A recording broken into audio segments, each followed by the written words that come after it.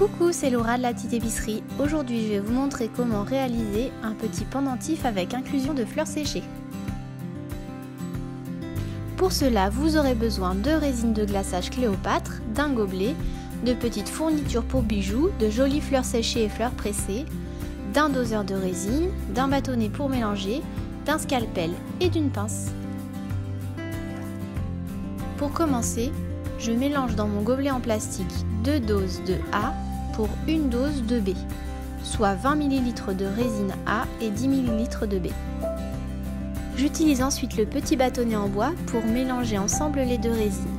Ne vous inquiétez pas si vous voyez des petites bulles d'air apparaître dans votre résine, il vous suffit de la laisser reposer 5 minutes pour que celle-ci disparaisse. Je dispose ensuite les petits anneaux dans lesquels je souhaite faire des inclusions sur une surface en plastique. Chez vous, vous pouvez utiliser un set de table ou une feuille plastifiée. Je verse ensuite ma résine dans les petits anneaux en mettant du bâtonnet en bois et puis je dispose les fleurs séchées comme j'en ai envie.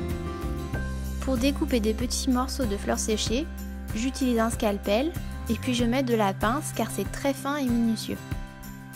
Ici, j'ai souhaité utiliser des anneaux dorés à leur fin pour faire des bijoux encore plus précieux.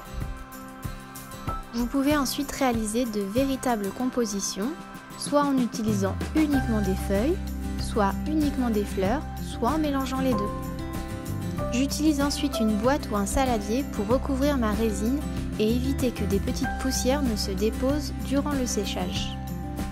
J'attends ensuite 24 heures et je refais une seconde couche de résine pour vitrifier totalement les fleurs.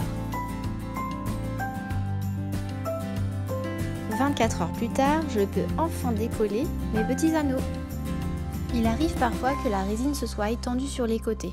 Dans ce cas-là, ce n'est pas grave, je frotte juste avec mon ongle et les petits bouts s'en vont. Pour percer ma résine afin de transformer les anneaux en pendentifs, j'utilise un petit mandrin à main. Sa mèche très fine me permet de réaliser des trous très précis.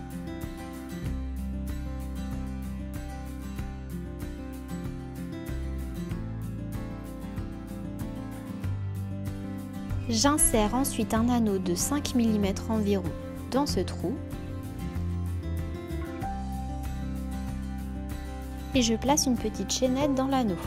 Et il me suffit de monter la chaînette en collier.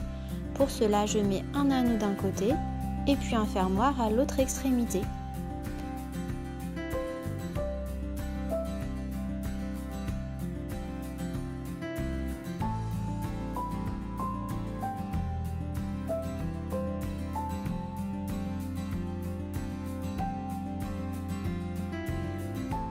Et voilà, ce tuto est terminé. Avec cette technique d'inclusion, vous pourrez réaliser de très jolis bijoux. Ici, j'ai fait des petits médaillons, mais vous pourrez aussi faire des boucles d'oreilles et des bracelets.